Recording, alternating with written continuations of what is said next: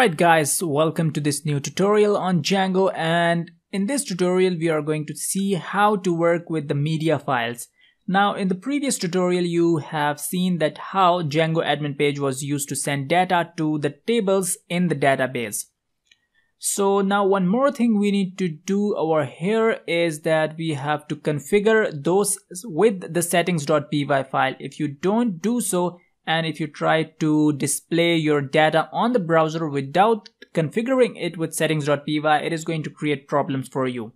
So at the end of settings.py what we are going to do is that we are going to create media url and it is going to equal to media which is going to be a folder and then you have to specify media underscore root and it is going to equal to os dot path dot join the first argument as usual is going to be the base directory.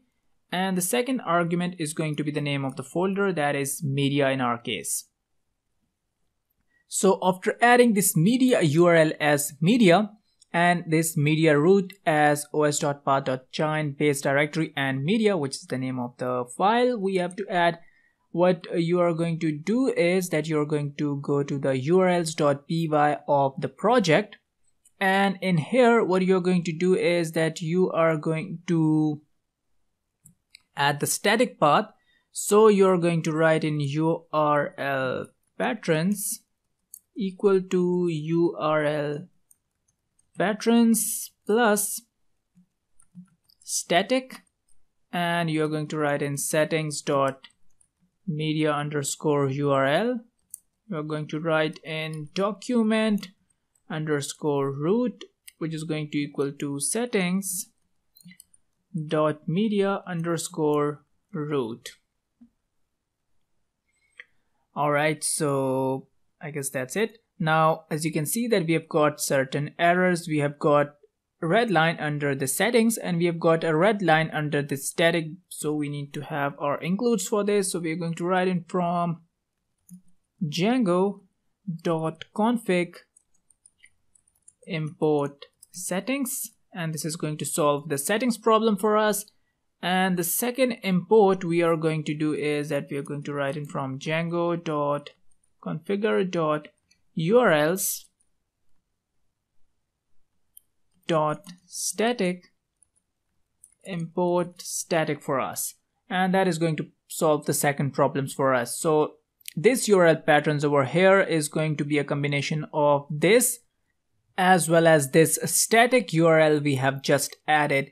And this basically refers to the settings.media url which is media in our case. And then the document root is going to equal to settings.media root which is right over here which is this os.path.join base directory and media alright so this is basically going to do our job so this is how the send data can be monitored so in the next tutorial what we will do is that we will see how this very same data will be used to be get shown on the browser display so I guess that's it with this tutorial. Thank you so much guys for watching and I'll see you guys in the next tutorial. Now welcome you to another tutorial on this course on Django and this so far is going to be the most interesting tutorial of this section we are covering because in this tutorial what we are going to do is that we are going to display the data which we have entered in our tables onto your browser window. So in this views.py of the application, what we are going to do is that we are going to just remove all the data which we have entered manually over here because now the data is going to be fetched from the database. So what this dests is now going to equal is it is going to equal to destination dot objects dot all now by destination we mean the model, by objects we mean the objects mean a single destination, by all we means all the destination objects which have been added using the Django admin panel. If you just visit your Django admin panel you can see that we have got three destination objects. So by all we means all the three objects over here. So the return request is going to be the very same. So let's just run our server manage.py run server click enter and our server will be running in a short while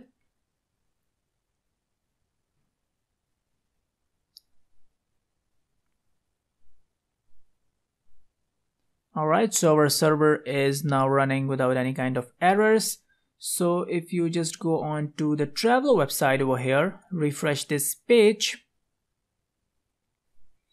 and if you just move on down to the destinations you can see that we have got the destinations which were basically a part of our database. As you can see over here we have Naran, Switzerland and Turkey which are now a part of this browser window in our dest popular destinations over here.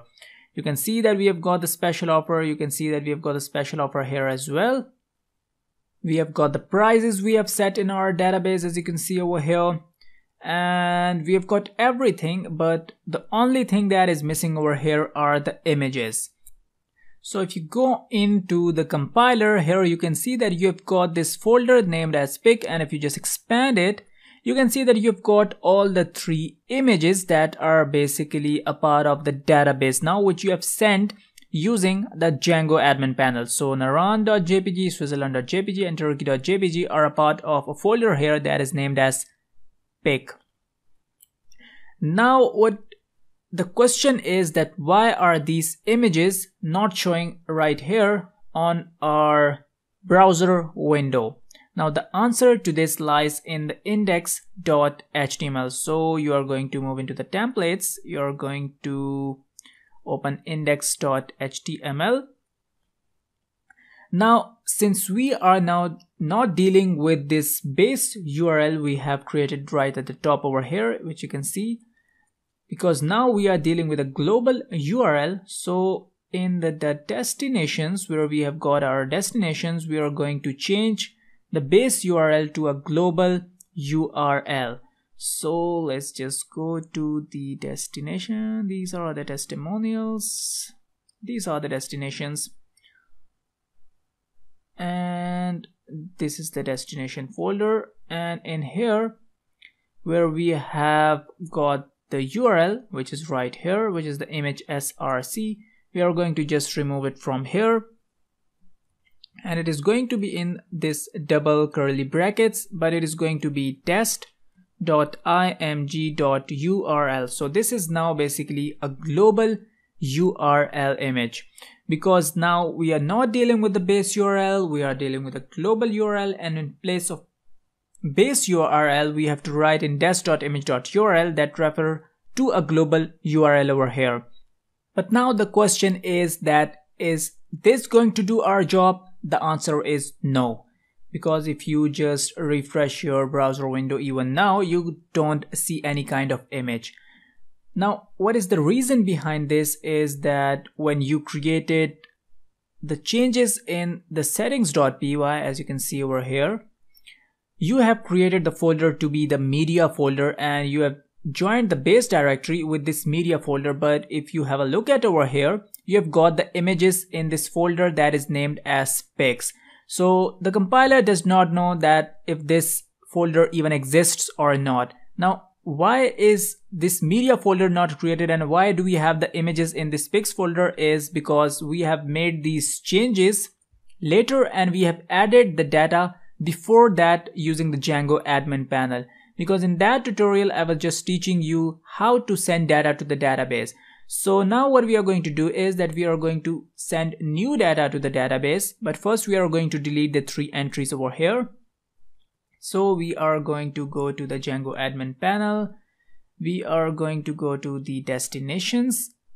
Alright, so what we are going to do is that let's just leave it as it is and we are going to add more destinations. So let's say we are going to add Kaghan this time. We have to choose the file and we let's say choose the very same file which was this over here. And let's say it is going to be do visit it let's set the price to 1000 let's say the offer is yes. And let's say the destination number is 2000 not 2000 it seems to be a lot more. Let's just make it equal to 250 let's just click on save and add another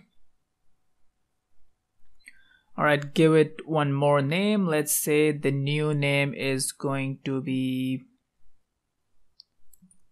let's name it as California. Choose image. And let's say I'll choose the image for the Switzerland over here. And do is it this as well? Because I don't got anything in mind as well. So let's just set the price to 1500 let's say and let's say I don't want to give any kind of offer on this. And let's say the destination number is 150 let's just click on save and add another. And let's just add our final destination to be let's say Turkey again. Choose the file and this time the image is going to be the very same as the destination. So also visit it. it is going to be the message let's say the price is the highest for this. Let's say I want to give an offer as well. And let's just set it to 120 let's just click on add. And now these uh, 456 has been added successfully.